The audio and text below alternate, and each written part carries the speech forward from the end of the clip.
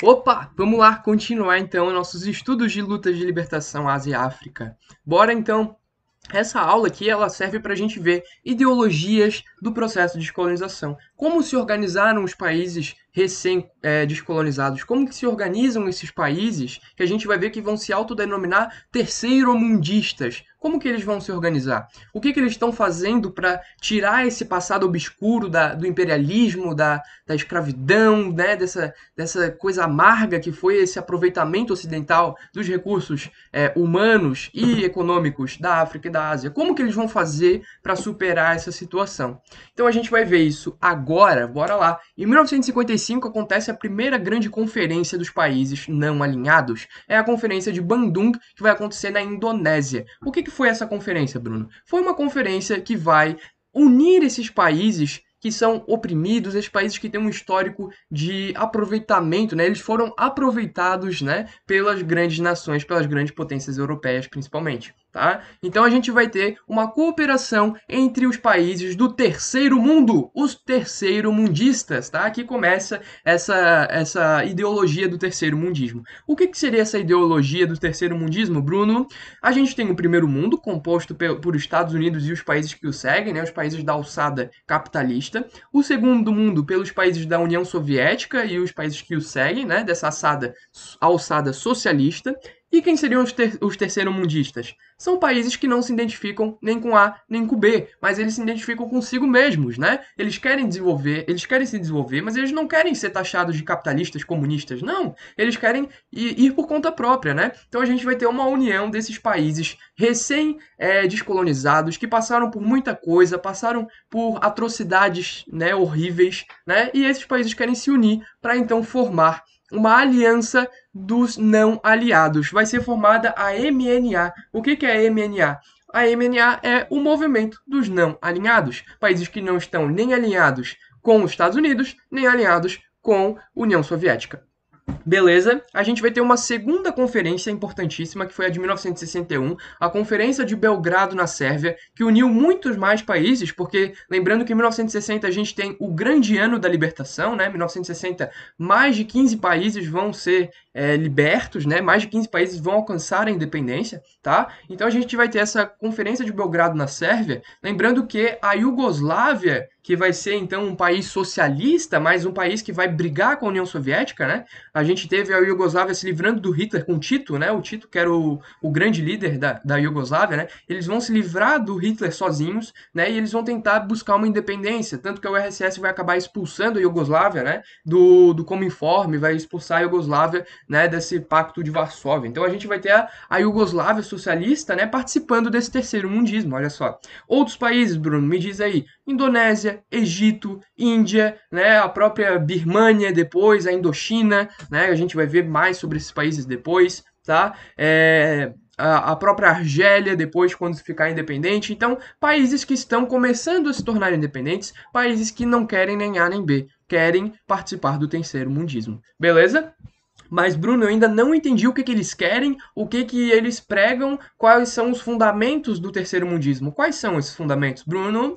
Bom, é fácil de, de sacar, né? Basicamente é a tríplice DDD, né? Como diria o grande diplomata brasileiro Araújo Castro, né? Os, os nossos queridos amigos terceiros mundistas, eles querem descolonização dos países que ainda não alcançaram a autodeterminação dos povos, eles querem desenvolvimento industrial, né? Eles não querem mais participar daquela, daquele, daquele, aquela escrachada política econômica de que países desenvolvidos produzem tecnologia e os países subdesenvolvidos mandam, né, a produtos primários e vão ter que comprar tecnologia. Não, eles não querem mais isso. Eles querem um desenvolvimento industrial forte para esses países, tá?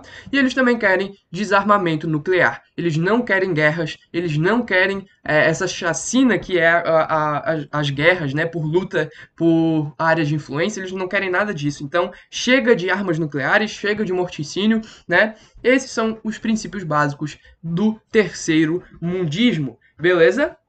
O que, que vai acontecer. Né? Nesse contexto de desenvolvimento industrial, inclusive, interessante ressaltar, né, vai ser criada pela ONU a UNCTAD em 1964, que vai ser uma, uma unidade, né, uma organização dentro da ONU que vai ser responsável por desenvolver, né, por facilitar promover o desenvolvimento sustentável e o desenvolvimento industrial dos países em via de desenvolvimento. O Brasil, inclusive, vai participar né, desse, desse movimento da UNCTAD.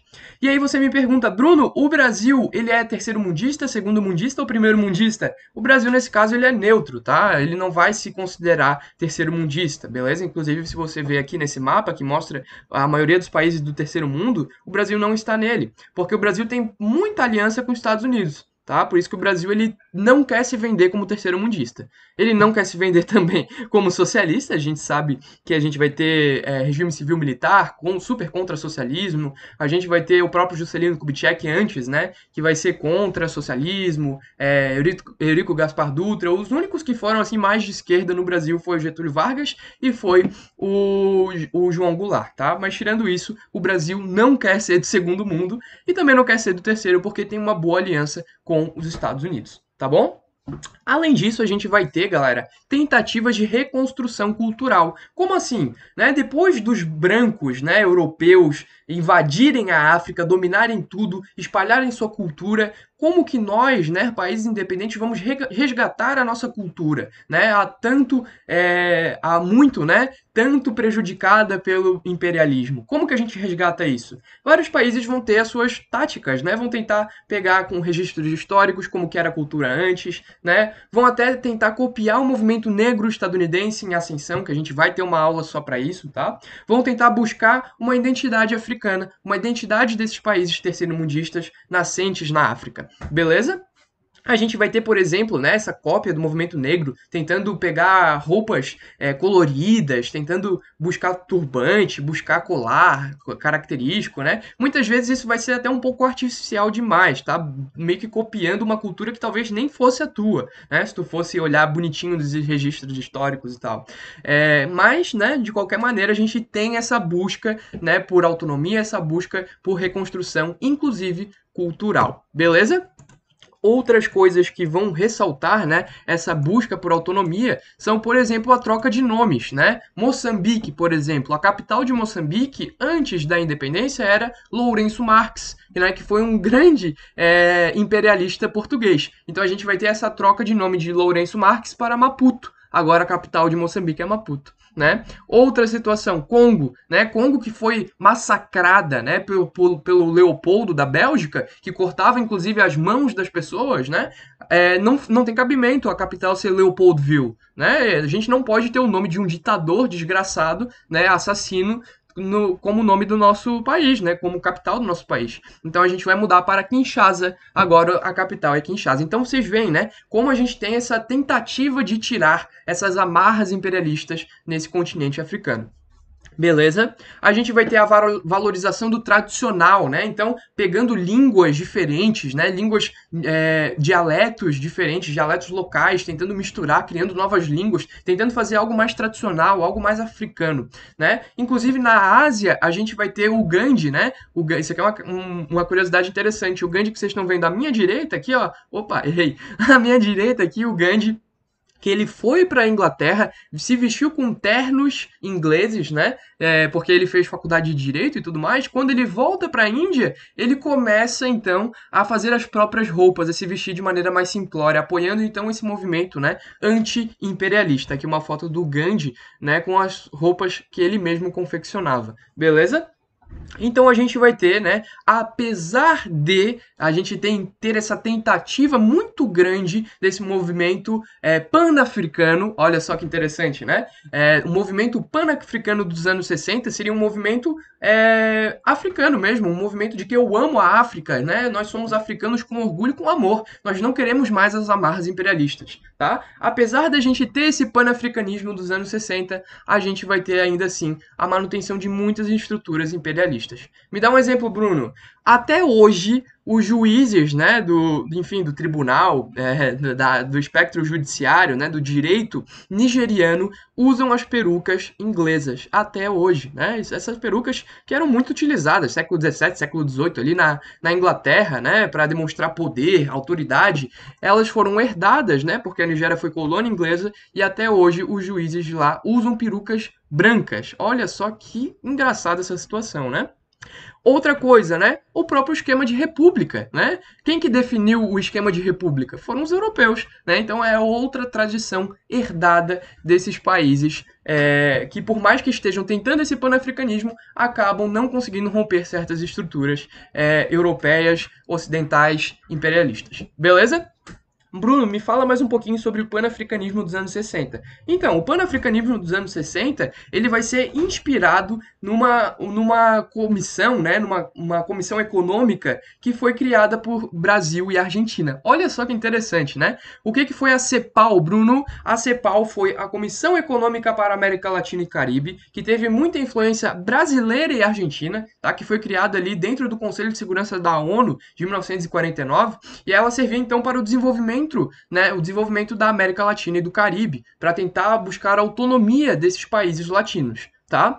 E o panafricanismo vai ser muito inspirado na CEPAL. Basicamente, eles copiaram, né? Copiaram aqui o que era do Brasil e da Argentina, o que o Brasil e a Argentina criaram, né? E eles tentaram aplicar esse modelo lá na África, beleza? Então a gente vai ter a formação da Organização pela União Africana, a OA, que hoje em dia é só União Africana, tá? UA, beleza? Hoje em dia é assim que eles são chamados tranquilo. E o que, que vai acontecer? A OA, né, esse, essa União Africana, ela vai tentar buscar autonomia, vai tentar buscar alianças entre os países recém-formados, tentar buscar o fim das amarras imperialistas. Beleza? É, a sede dessa organização vai ser em Addis Abeba, né, a capital da Etiópia. Por que a Etiópia foi escolhida, Bruno? Porque Etiópia e Libéria foram os únicos países que não cederam às pressões imperialistas na África. Então são símbolos de resistência, beleza? É, a Libéria, por exemplo, pessoal, foi um país que recebeu muitos negros estadunidenses por conta, então, do, do racismo estrutural lá nos Estados Unidos, que trouxe, né? Eles expulsavam os, os, os negros, né? Os africanos estadunidenses e levavam, então, para a Libéria, um país que vai ser marcado por extrema pobreza, por uma situação econômica e política e social terrível, tá, gente? Então a gente vai ter aí, é, por mais né, que seja um país que não sofreu com o imperialismo, ainda assim um país pobre, um país com situação gravíssima, tá? Então a gente vai ter essa escolha desses países para serem os grandes representantes da África, né, a África recém-liberta das amarras imperialistas. Beleza?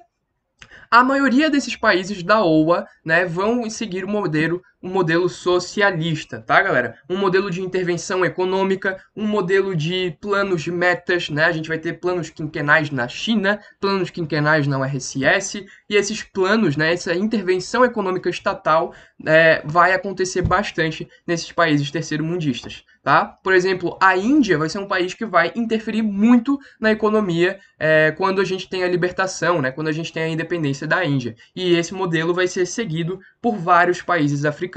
Beleza? Por hoje, né, por, por essa aula, era só isso que eu tinha para falar para vocês, né? E aí vocês ficam com a próxima aula, que aí agora a gente vai começar a falar dos casos, né? Casos na Ásia, casos na África. Beijão, te vejo lá.